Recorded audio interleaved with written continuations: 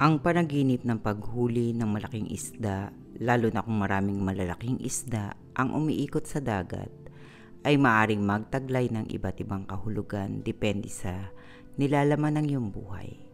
Narito ang ilan sa mga posibleng interpretasyon nito. Ang malaking isda sa panaginip ay madalas na simbolo ng tagumpay, kasaganaan, at magandang kapalaran. Ang pagkuha ng malaking isda ay maaring nangangahulugang ikaw ay malapit ng makaranas ng malaking tagumpay sa iyong personal o professional na buhay. Maaring ito ay isang proyekto, trabaho o negosyo na magbibigay sa iyo ng malaking benepisyo.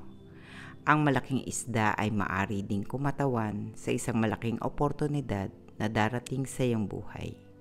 Ang iyong kakayahang mahuli ang isda ay nagpapakita ng iyong kahandaan at abilidad na kunin at pakinabangan ang mga oportunidad na ito.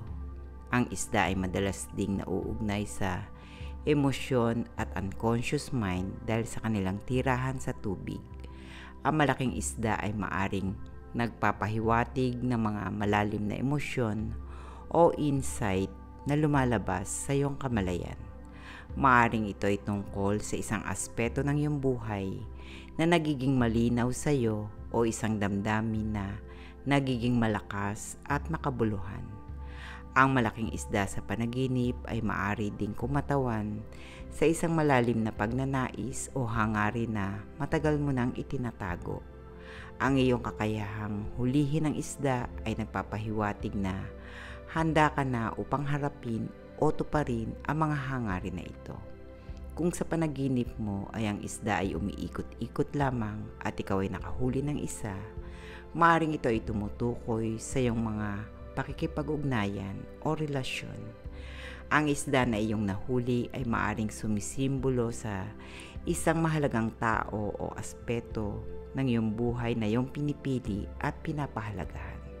Sa pangkahalatan, ang panaginip tungkol sa paghuli ng malaking isda ay positibo at nagpapahiwatig ng tagumpay, kasaganaan at pagkamit ng mga malalaking oportunidad.